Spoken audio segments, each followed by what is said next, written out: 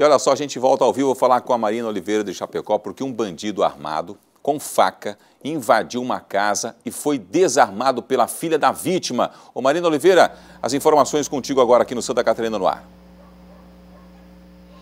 Pois é, Rogério, esse caso aconteceu em Ouro, região aqui do meio oeste do estado. Foi na madrugada de domingo e, segundo a polícia, o homem estava então armado com uma faca quando invadiu a casa que fica no centro da cidade. Ele ainda fez uma mulher de refém a filha dela e o genro acabaram reagindo, entraram em luta corporal com o, bom, com o bandido, se machucaram, mas mesmo assim conseguiram desarmá-lo. E aí o homem acabou fugindo sem levar nada do local. Ele teria entrado pela porta dos fundos, separou alguns objetos para levar, mas fugiu sem levar nada. Agora a polícia investiga o caso e tenta localizar esse suspeito. Agora, uma outra informação que também veio do, vem do meio oeste do estado diz respeito a um caso, uma liminar do Ministério Público que bloqueou os bens de um agente penitenciário e de três ex-diretores do Presídio Regional de Joaçaba. Segundo a promotoria, entre 2009 e 2014, esse servidor recebeu a remuneração referente a 338 plantões que não cumpriu